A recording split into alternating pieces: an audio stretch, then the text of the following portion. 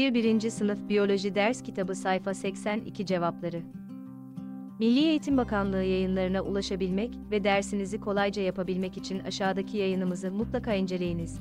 1. 1. Sınıf Biyoloji Milli Eğitim Bakanlığı Yayınları Ders Kitabı Cevapları Sayfa 82 Kemik ve kıkırdak için biyomalzemeler doku mühendisliği çeşitli destekleyici malzemeler, fiziksel, kimyasal etmenler ve hücreler kullanarak, hasar görmüş ya da kaybedilmiş dokuların kendi kendini yenilemesini sağlamayı amaçlayan teknolojiler üreten mühendislik alanıdır.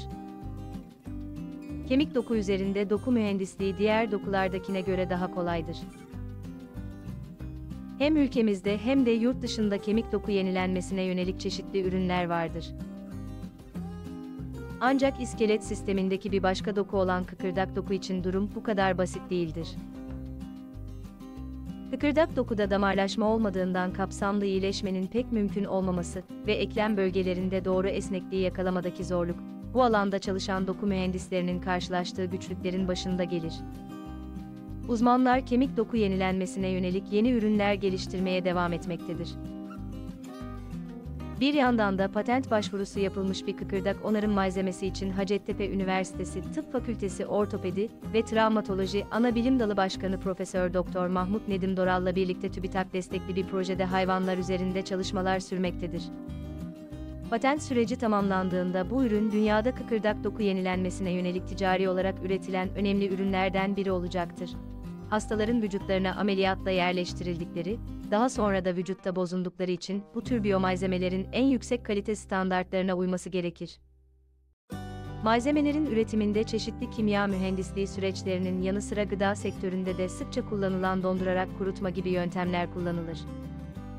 Elde edilen ürünler yapılarına göre gamma ışınları, ısı ya da buhar yoluyla sterilize edilir. Doktor Aydın ve ekibi tüm bu uygulamalarda yüksek standartları yakalayarak tüm Avrupa'da geçerlice kalite standardı belgesine sahip ürünler üretmeyi başarmıştır.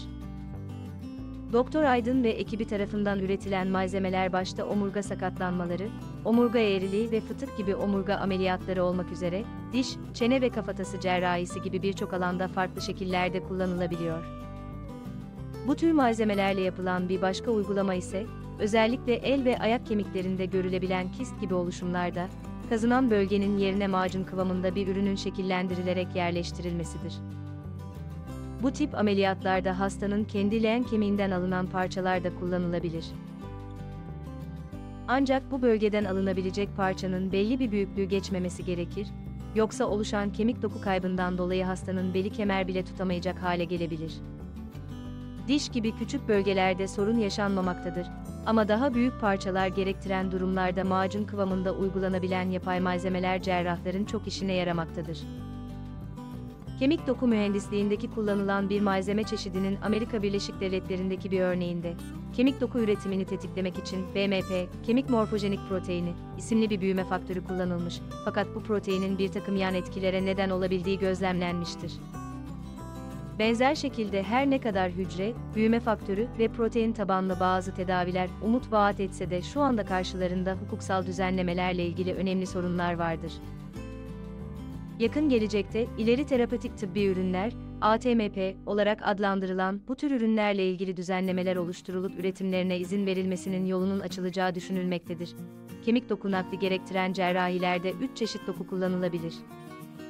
Bunlar, hastanın kendisinden alınan doku, başka bir bireyden alınan doku veya hayvan kaynaklı dokudur. Başka bireylerden alınan veya hayvan kaynaklı dokuların hayli çok hastalık taramasından geçmesi gerekir. Örneğin Türkiye'deki ve Avrupa'daki sığırlardan alınan dokuların prion denilen ve deli danaya neden olan protein birikimlerini taşıma riski olduğu için, ancak Yeni Zelanda gibi ülkelerden, belli sertifikalara sahip yetiştiricilerden alınan hayvansal dokular ve proteinler güvenilir olmaktadır. Doktor Aydın, doku mühendisliği alanında Türkiye'de çok değerli bilim insanları ve önemli bir bilgi birikimi olduğuna, Avrupa'nın çok gerisinde olmadığımıza ve birçok biyomalzemenin Türkiye'de üretilebileceğine dikkat çekmekte ve kendilerinin de geliştirecekleri kıkırdak ürünüyle dünya çapında bir patent almayı hedeflediklerini belirtmektedir. Milli kaynaklarımızla ürettiğimiz bu yeni ürünler ülkemizin savunmasında görev alan değerli gazilerimizin tedavilerinde de kullanılabilecektir. 1. 1. Sınıf Milli Eğitim Bakanlığı Yayınları Biyoloji Ders Kitabı Sayfa 82 Cevabı ile ilgili aşağıda bulunan emojileri kullanarak duygularınızı belirtebilir, aynı zamanda sosyal medyada paylaşarak bizlere katkıda bulunabilirsiniz.